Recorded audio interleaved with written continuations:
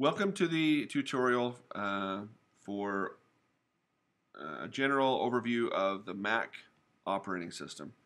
Uh, this is Mountain Lion.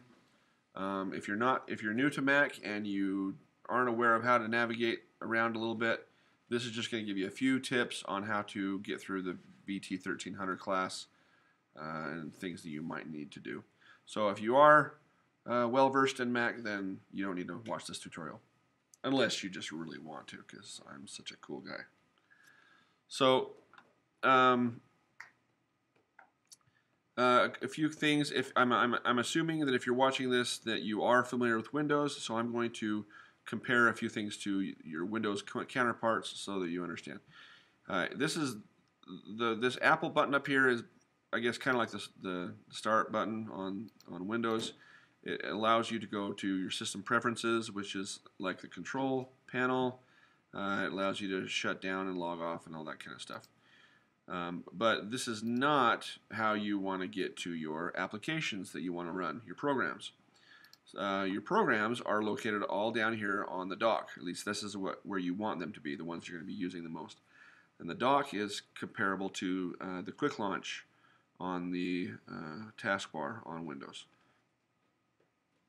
Uh, as you can see, I've already populated my dock with lots of things uh, that I like to use. Um, and so let's walk through how we, we might do that. Let's go ahead and take, uh, I don't know, we'll take Photoshop off. So how we remove something from a dock is you right click on it, go to options and remove from dock. So if I don't have dock, if I don't have Photoshop down here in my dock and I want it down there, uh, this is how to do that. So the first thing I'm going to do is go to my Finder. Now the Finder is like uh, Windows Explorer in uh, on a Windows uh, Windows 7 or XP or whatever you might be using. It is your file navigator.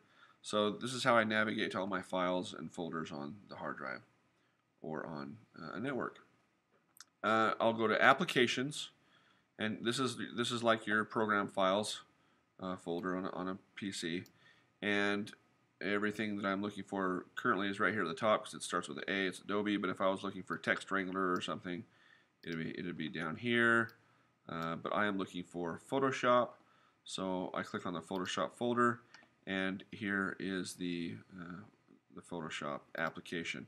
Now, you know, I might be in a different view, so this might look like this to you or like this, um, but either way, uh, it's it, it, acts the same.